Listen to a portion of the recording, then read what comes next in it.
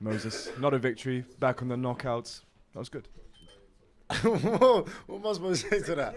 Yeah, no, it was alright, innit? I guess like um, it's like my first performance. Like, I'm I'm happy with. Like I'm not gonna lie, the first my first four performances I'm not happy with, and I don't think the fans were either. So yeah, I believe yeah, that's my first performance that I'm satisfied with. We're almost getting a smile out of there. Yeah, no, no, it's a question. I didn't know how to answer it. And that's what you wanted to show the fans, give that. Hundred percent.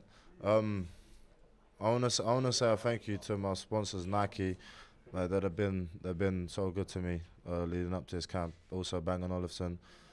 Um, yeah, I'd like to say I- I'd like to say thank you to Francis and my team as well. I can't ask for anything.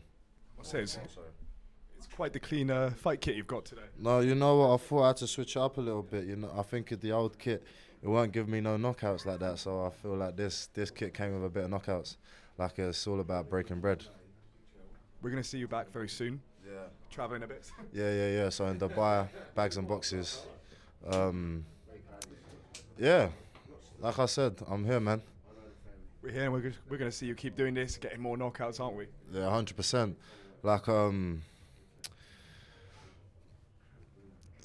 I, I want, I want. Listen, if I, if I can, if I can have knockouts like that every day, I would. Like, listen, I'll go in the ring and I'll try my best, and whatever get, whatever, whatever I get is what I get in it.